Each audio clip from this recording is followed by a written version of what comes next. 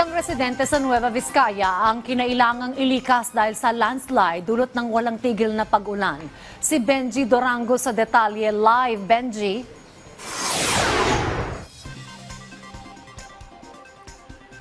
Rise and shine. Good morning, Dayan. Ganda ng background ko, no?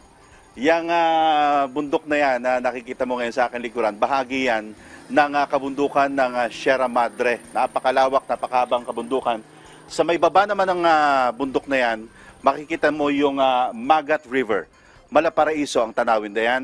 Pero sa likod ng gandang yan ay ang piligrong hatid nito sa mga taga Nueva Vizcaya. Maswerteng hindi natibag ang mga pader ng ginagawang bahay na ito sa barangay Magapuy, Bayumbong, Nueva Vizcaya. Ano ho nangyari?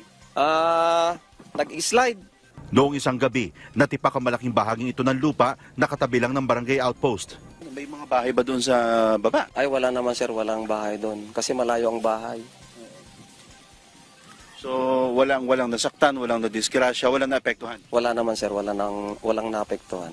Sa aming pag-iikot, ilan pang maliliit na landslides ang aming nadaanan. Para sa amin sir, hindi okay ah, kasi hindi safe. Kasi yung mga dumadaan, lalo na sa ah, maraming dumadaan na sasakyan. Nalinis na ng LGU ang mga na-landslide na national highways at main roads. Isusunod na nila ang mga kalsada sa mga barangay. Tingin ng PDRRMO, lumambot ng husto ang lupa dahil sa tubig ulan.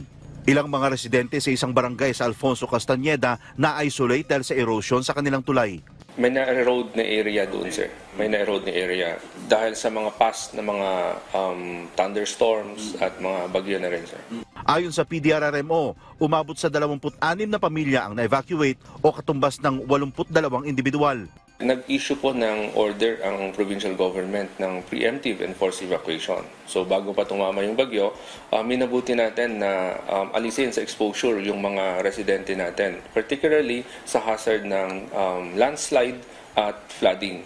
Bukod sa landslide, flash flood ang isa sa kalaban ng mga taga Nueva Vizcaya. Dumadaan kasi sa probinsya ang Magat Dam at umaapaw ito kapag malakas ang ulan.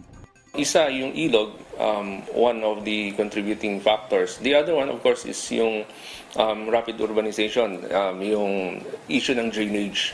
Maliban sa mga IPs na na-stranded sa Alfonso Castañeda, nakabalik na mga nag-evacuate sa kanilang mga bahay.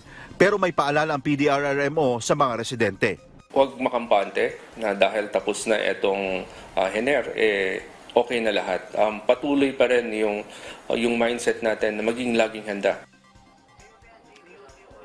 Sa ngayon, na Dayan, yan naman ang ah, live na kuha ng ah, part na ito ng Sierra Madre. Kung mapapansin nyo, medyo mahamog. Malamig ngayon dito sa area ko. At ah, kung hindi ko lang may pakita sa iyo, pero yung taas ng bundok ng bundok na yan, napakaulap. Posible na umuulan ngayon sa ituktok ng bundok. Yan ngayon ang kinakatakot ng mga residente dahil kapag malakas ang ulan sa ibabaw ng bundok, yung tubig na may ipon sa taas ay maaaring bumaba sa mga ilog na magkokos naman ng pagbaha dito sa Nueva Vizcaya. Pero sa ngayon, ang uh, namomonitor natin dito sa Kapatagan ay ah, walang ulan, maayos ng panahon, makulimlim, pero wala tayong namomonitor na pag-ulan na ikinatutuwa naman ng mga residente ng Nueva Vizcaya. Dayan? Maraming salamat, Benji Dorango.